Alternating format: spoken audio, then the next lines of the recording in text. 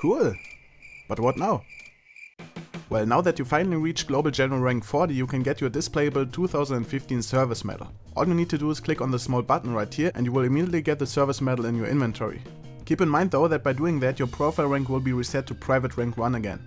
And that's what the 2015 Service Medal looks like in-game. I think it looks pretty cool. What do you think? As this is also an inspectable item in your inventory, you can also display this on your profile and show it off to people you are playing with.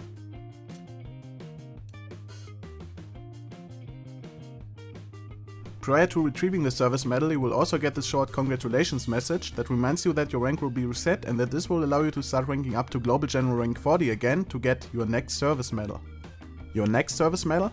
Does that mean that you will be able to get the exact same service medal over and over again by making it to level 40 multiple times?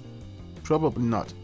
But since the count one that you can get is named 2015 Service Medal, it's pretty likely that there's going to be one Service Medal for every year. Maybe even for each season of the year starting at 2016?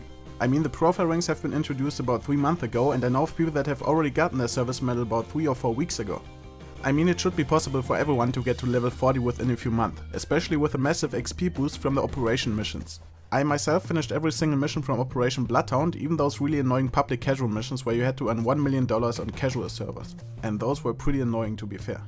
Thanks to these missions, I didn't feel like reaching global general rank 40 was hard at all, but I know that many players probably won't do all of these missions. I would assume that the average player has a profile rank of about 25 right now and as far as I know the profile rank is going to stay permanently and not end after Operation Bloodhound expires. So there's still plenty of time left this year for everyone to reach level 40. What rank are you currently on? And if you already made it to level 40, when did you reach it? Oh, and before I forget, now to the most important question. Since you can only start playing matchmaking once you reach profile rank 3, does it mean that you will have to level all the way up to profile rank 3 once again to start playing matchmaking? No, thank god not. Once you have reset your profile rank with the service medal, you will be able to play matchmaking right away, even though you are only on profile rank 1. So I hope that this answers all your questions concerning the 2015 service medal. Thanks for watching and I will see you guys in my next video.